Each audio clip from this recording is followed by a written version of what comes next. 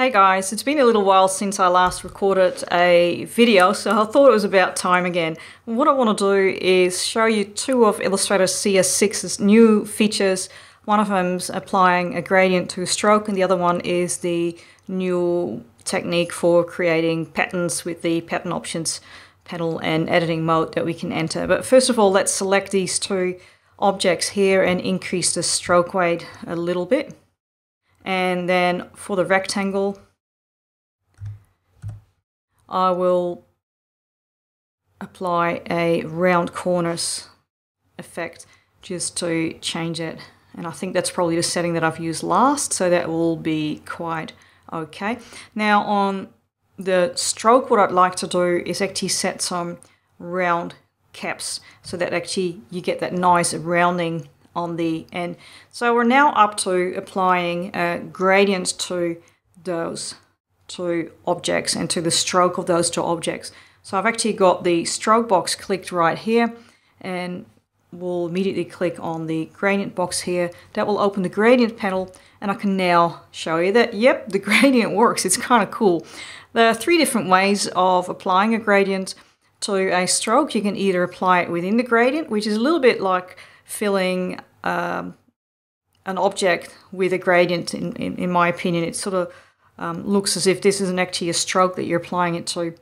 Um, and then we've got the, the second option, which will um, apply the gradient along the stroke. And then we've got the third option, which I think is the coolest because um, to create these kinds of effects in the past, we had to use some sort of blending technique and have at least two lots of path. And you can see now how cool that sort of applies to that both both the closed object, um, the closed path, and the and the line, which is an open path. So you can do that in both cases, and it works really nicely. So let's turn this into a bit more of a tubular looking effect. I'll just add a color stop right there, and then press the Alt or Option key and drag that to the other side, and we'll just pull off that black one and we'll change the location markers just to change this a bit. I might just double click this point and turn that into a darker grey and we'll do that with the other one as well. Just make it a little bit darker. I think that looks all right. Okay so we're now up to turning this particular bit of artwork into a pattern tile. Now pattern tiles appear in the swatches panel. You probably remember that from earlier versions of Illustrator. And when we turn this artwork into a pattern by going to Object Pattern Make, a pattern tile is automatically added into the swatches panel. You get this little warning that actually warns you about it. And then there's a bunch of different techniques that you can use to create um, the look and feel of your pattern. First of all, you can change the pattern tile type. I'm going to actually use a, a grid-like pattern, which is very similar like the like what we had in the previous versions of Illustrator when we used pattern tiles.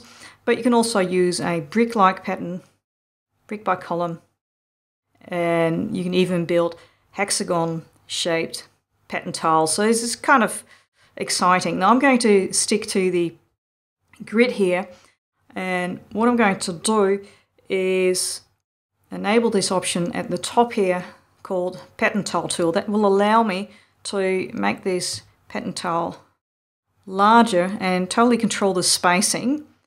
And what you will see will happen is if I make the tile smaller than the artwork, you're starting to get this chain-like symbol. I'll just move it in a bit more. But really I want to put this on an angle and I can use my normal editing tools to rotate this object and let's see if we can start to turn it into something that we were looking at in the example we saw. So I need to go back to the pattern and start to bring this back in again.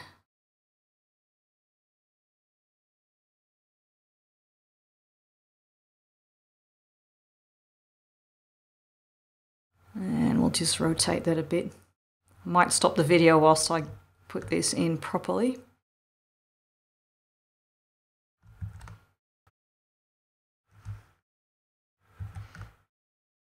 So I've been fiddling a little bit um, with the pattern tile just to get that just about right. And I think we're just about getting it right. So I've sort of um, got some overlap here at the top and here at the bottom. And that now really looks a bit more like that behavior that we saw earlier. So I'm now done.